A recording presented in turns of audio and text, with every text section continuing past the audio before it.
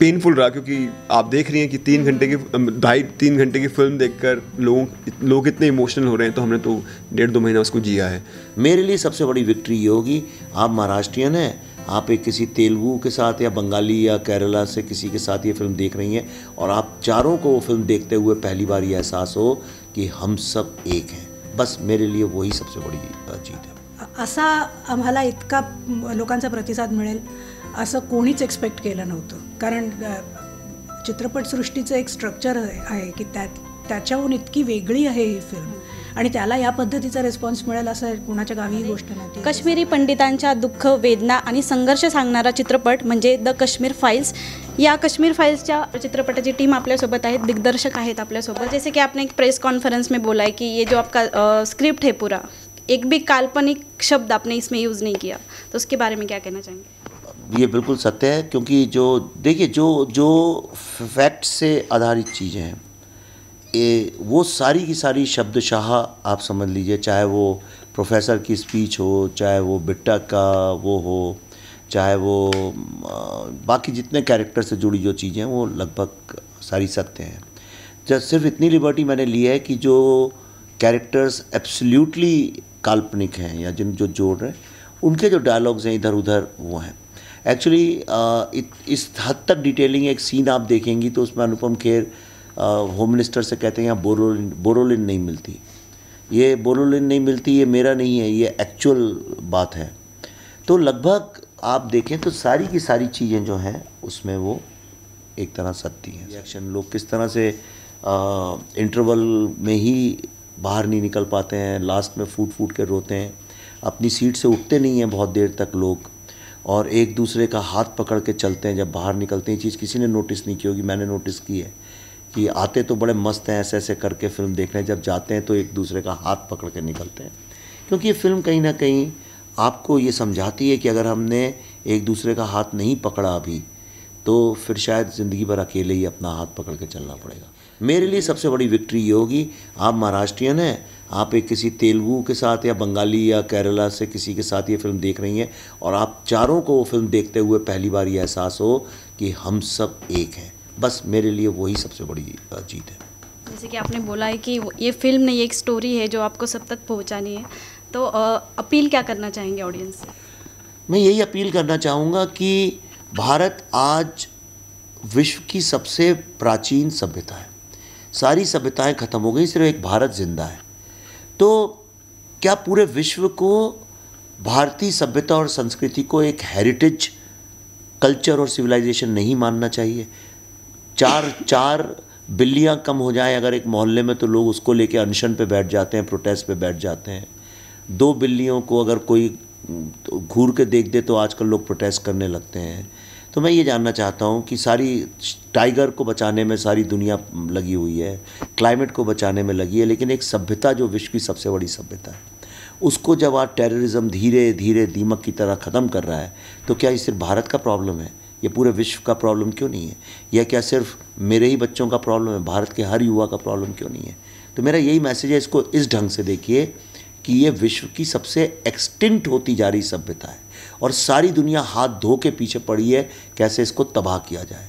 ऐसा कोई कहीं प्रमाण नहीं है कि दिवाली पर पटाखे अगर चलते हैं तो उससे सारी दुनिया में प्रदूषण बढ़ता है। ऐसा कहीं, मैंने तो एक स्टैटिस्टिक्स ऐसी कहीं मिली नहीं। लेकिन सारी दुनिया क्यों पीछे पड़ी है इस बात के कि पटाखे चलते हैं? जबकि सारी दुनिया, चार जुलाई को अमेरिका में, बाहर जब मैं सारी दुनिया में इतने बड़े बड़े पटाखे चलते हैं जो लोग इसको प्रोटेस्ट करते हैं, वो भी अपनी शादियों में करोड़ों रुपए के पटाखे चलाते हैं। तो फिर ये ढोंग, ढकोसला बंद होना चाहिए और भारत को, सारी दुनिया को एक हेरिटेज सिविलायझेशन की तरह से ट्रीट करना चाहिए।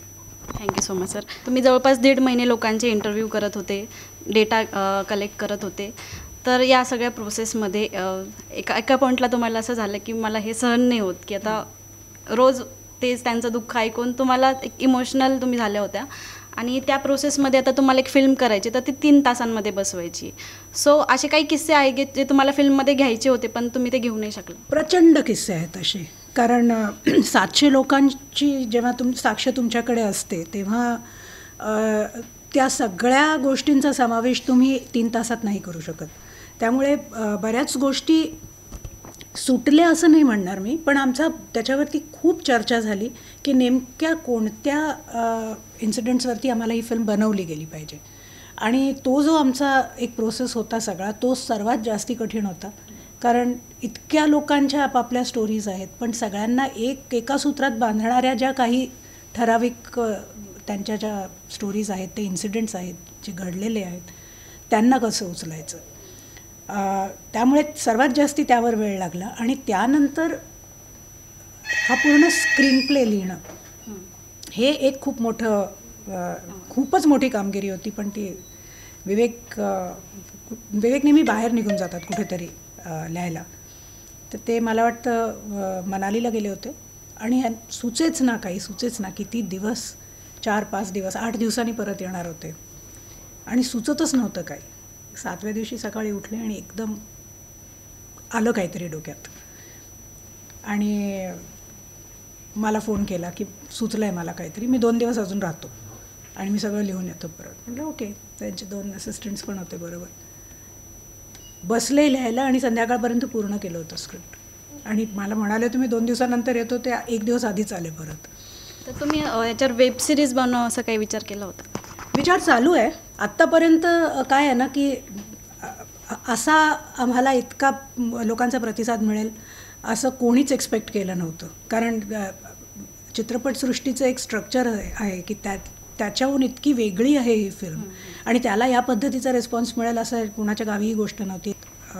काल सकाळपासून जे काय ॲडव्हान्स बुकिंग्स वगैरे सुरू होत आहेत त्यात मला सारखे झीचे फोन येत आहेत की हे काय चालू आहे? आम्ही कधी विचारच केला नव्हता. त्यामुळे आत्तापर्यंत आम्ही त्या वेबसिरीजसाठी आमचा एक लढा चालू होता. आता मला वाटतं हे सगळं बघून तो थोडासा ती लढाई आमच्यासाठी थोडीशी सोपी होईल. सर आपके कैरेक्टर के बारे में बताइए और ये रोल कितना चैलेंजिंग था आपके लिए? मैं कृष्णा पंडित का कैरेक्टर प्ले कर रहा हूँ जो आज का यूथ है.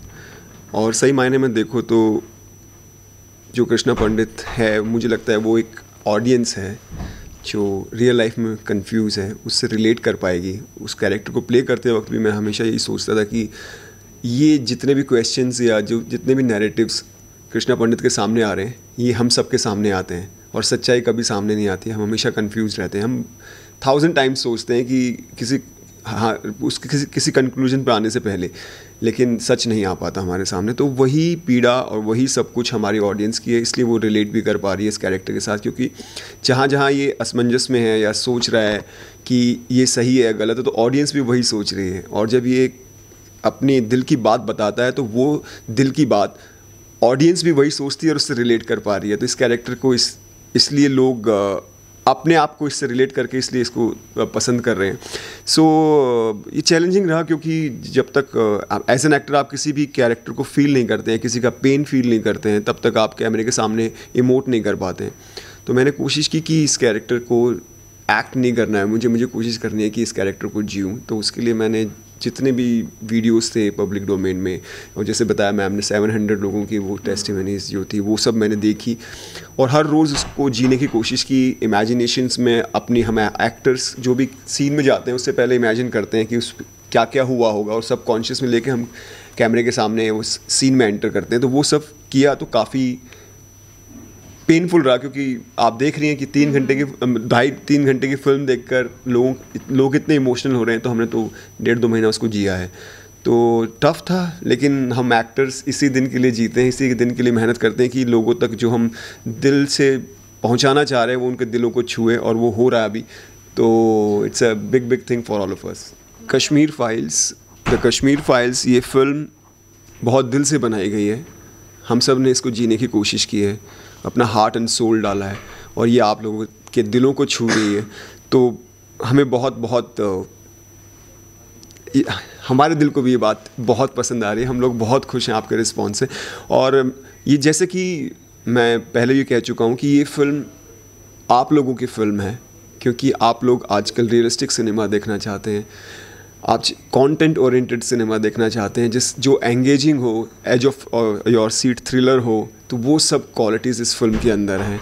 ये फ़िल्म मुझे, मैं बिलीव करता हूँ कि ये फ़िल्म आपको मेटावर्स का जो आज बहुत इन है, वो फीलिंग देगी। आप थिएटर के अंदर होंगे और आपकी आत्मा फ़िल्म के अंदर घुस जाएगी। आप जो भी देखेंगे, आपको लगेगा वो आपके सामने घट रहा है।